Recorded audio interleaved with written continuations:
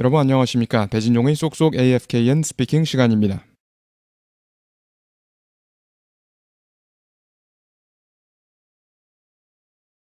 사생활과 개인의 자유는 어디에서 시작하고 어디에서 끝나는가? 사생활, privacy, 개인의 자유, personal freedom 하시겠습니다. Where do privacy and personal freedom begin and where do they end? 사생활과 개인의 자유는 어디에서 시작하고 어디에서 끝나는가? Where do privacy and personal freedom begin and where do they end?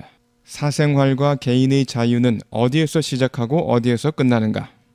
Where do privacy and personal freedom begin and where do they end?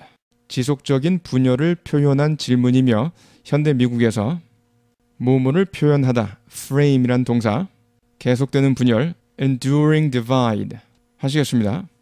Questions that have framed an enduring divide in modern America. 지속적인 분열을 표현한 질문이며 현대 미국에서 Questions that have framed an enduring divide in modern America. 지속적인 분열을 표현한 질문이며 현대 미국에서 Questions that have framed an enduring divide in modern America. 많은 사람들이 해결되었다고 생각한 문제입니다. 거의 50년 전에. One many thought was settled nearly 50 years ago. 많은 사람들이 해결되었다고 생각한 문제입니다. 거의 50년 전에. One many thought was settled nearly 50 years ago. 많은 사람들이 해결되었다고 생각한 문제입니다. 거의 50년 전에. One many thought was settled nearly 50 years ago.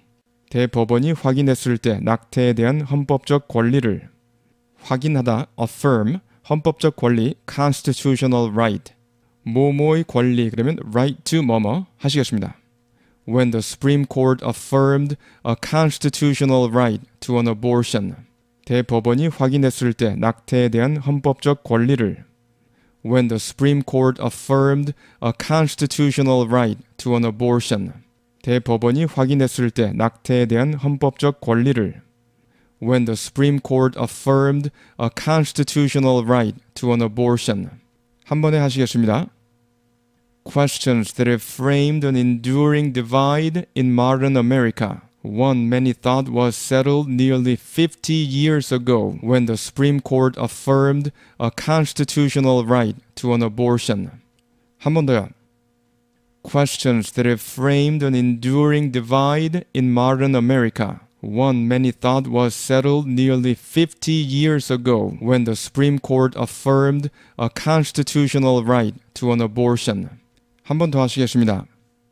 Questions that have framed an enduring divide in modern America. One many thought was settled nearly 50 years ago when the Supreme Court affirmed a constitutional right to an abortion.